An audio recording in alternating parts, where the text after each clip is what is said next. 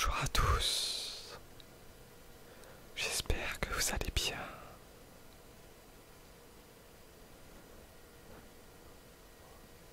Désolé pour commencer de l'attente qu'il y a eu depuis la dernière vidéo. Comme je vous l'avais dit, j'ai du mal à trouver le temps de faire ces vidéos. Mais j'espère que je pourrai m'améliorer au niveau de la régularité. Lors de la dernière vidéo, je vous avais lu la quatrième de couverture du livre Indignez-vous, ainsi que la biographie de l'auteur. Aujourd'hui, je vais commencer la lecture du livre. Il n'est vraiment pas très long. Je le lirai donc dans son intégralité, mais je ne sais pas encore si cela durera plus d'une vidéo ou non. En tout cas, je vous promets de lire l'intégralité du livre.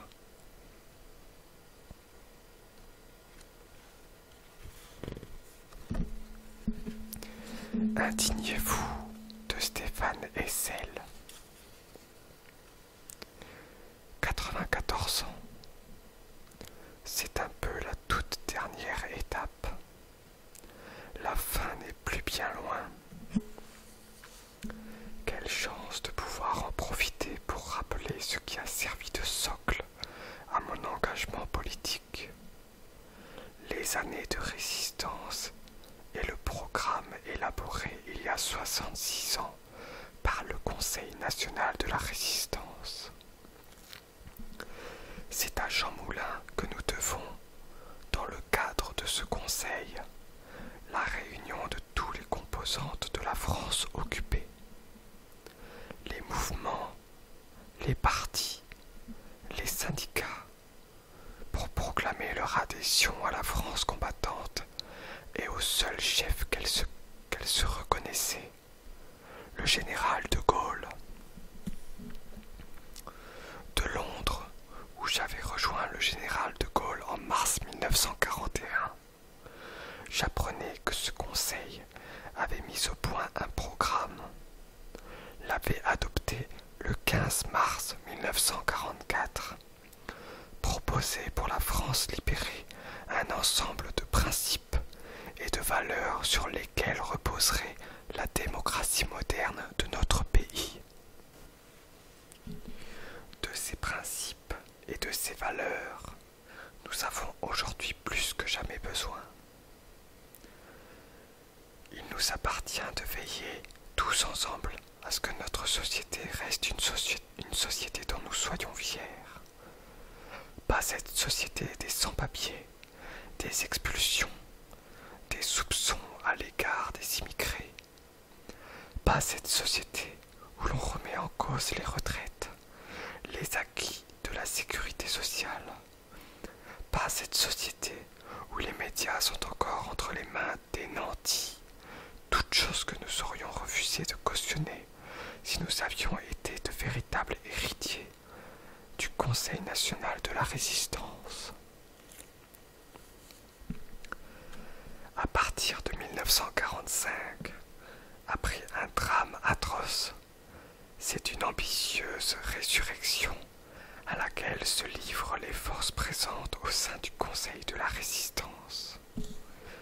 Rappelons-le, c'est alors qu'est créée la sécurité sociale, comme la résistance le souhaitait, comme son programme le stipulait, un plan complet de sécurité sociale visant à assurer à tous les citoyens moyens d'existence, dans tous les cas où ils sont incapables de se les procurer par le travail. Une retraite permettant aux vieux travailleurs de finir dignement leur jour. Les sources d'énergie, l'électricité et le gaz, les charbonnages, les grandes banques sont nationalisées. C'est ce que ce programme préconisait encore.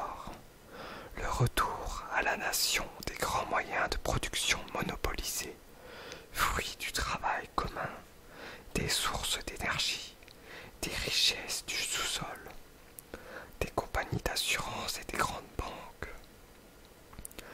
L'instauration d'une véritable démocratie économique et sociale, impliquant l'éviction des grandes féodalités économiques et financières de la direction de l'économie.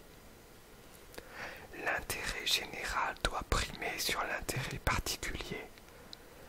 Le juste partage des richesses créées par le monde du travail, primer sur le pouvoir de l'argent.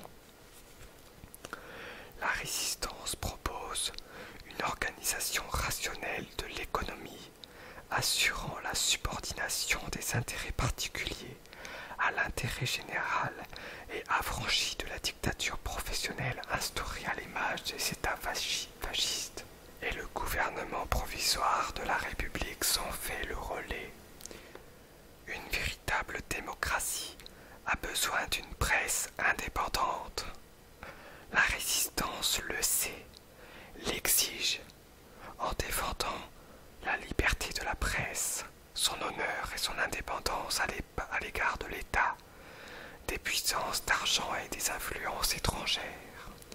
C'est ce que relaient encore les ordonnances sur la presse dès 1944. Or, c'est bien ce qui est aujourd'hui en danger. La résistance en appelait à la possibilité effective pour tous les enfants français de bénéficier de l'instruction la plus développée, sans discrimination. Or, les réformes proposées en 2008 vont à l'encontre de ce projet. De jeunes enseignants, dont je soutiens l'action, ont été jusqu'à refuser de les appliquer, et ils ont vu leur salaire amputé en guise de punition. Ils se sont indignés, ont, désobéi, ont jugé ces réformes trop éloignées de l'idéal de l'école républicaine, trop au service d'une société de l'argent et ne développant plus assez l'esprit créatif et critique. C'est tout le socle des conquêtes sociales de la résistance qui est aujourd'hui remise en cause.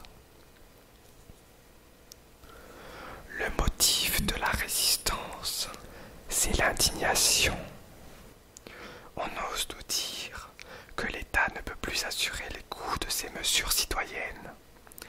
Mais comment peut-il manquer aujourd'hui de l'argent pour maintenir et ces conquêtes alors que la production de richesses a considérablement augmenté depuis la libération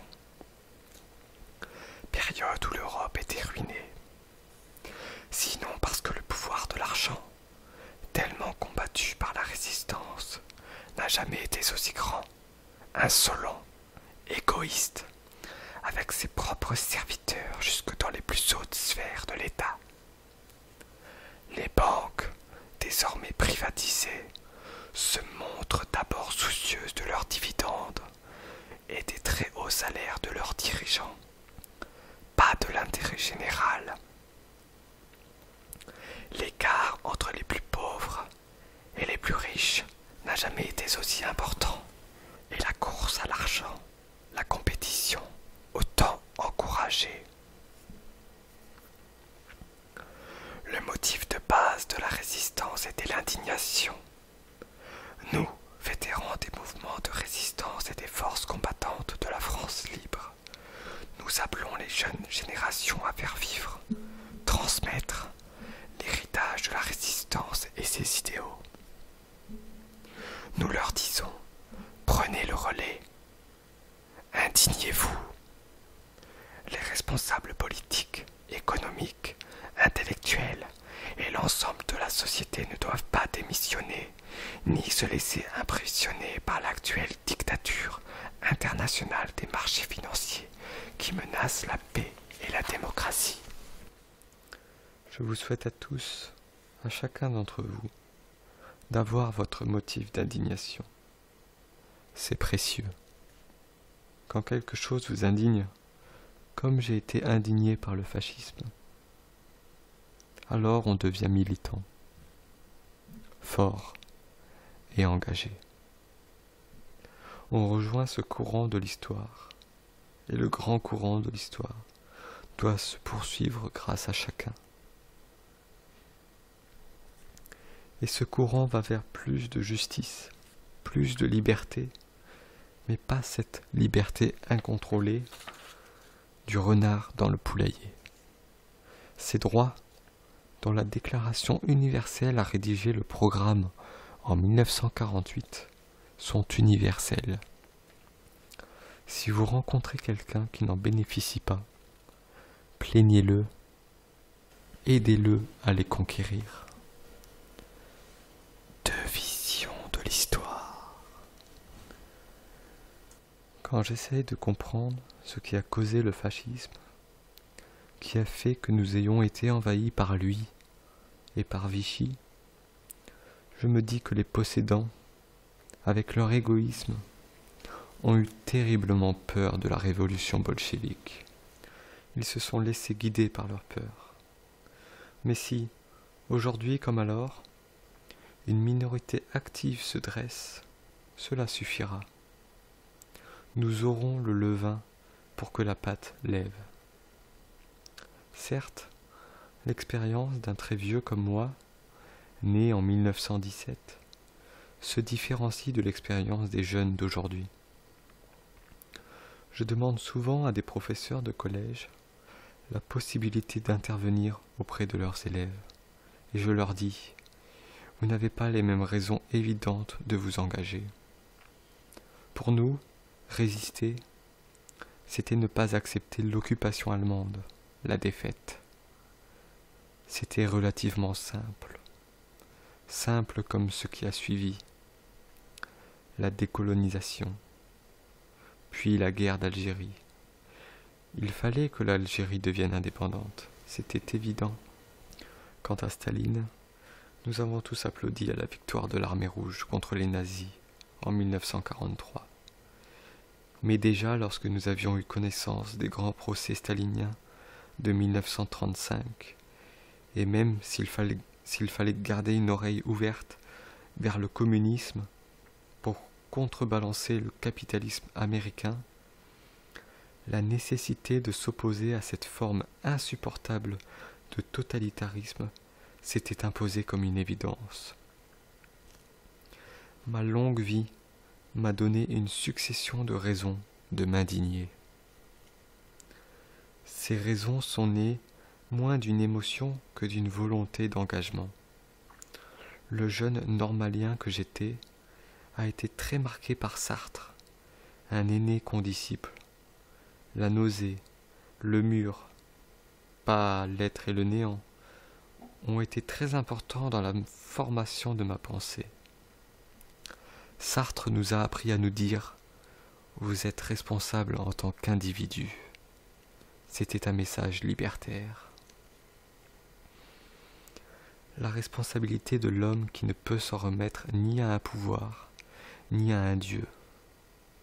Au contraire, il faut s'engager au nom de sa responsabilité de personne humaine.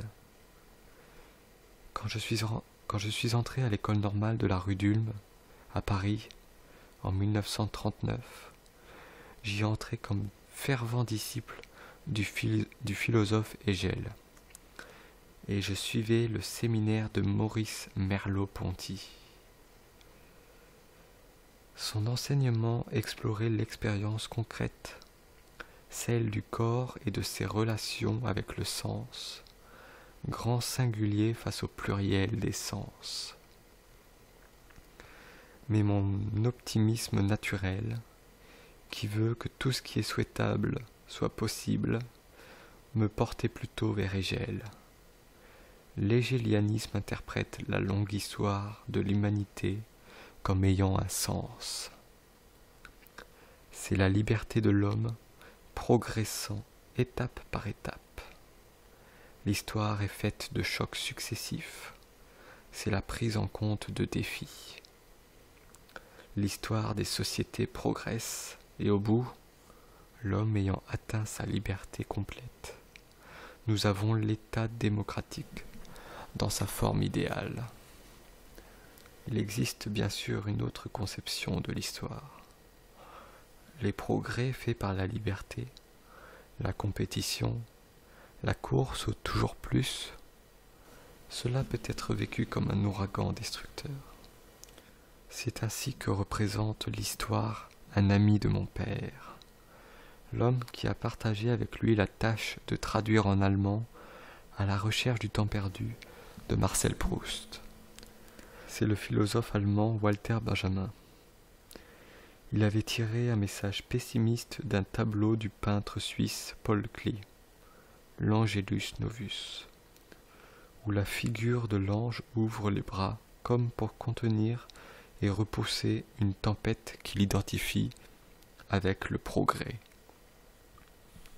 Pour Benjamin, qui se suicidera en septembre 1940 pour fuir le nazisme, le sens de l'histoire, c'est le cheminement irrésistible de catastrophe en catastrophe.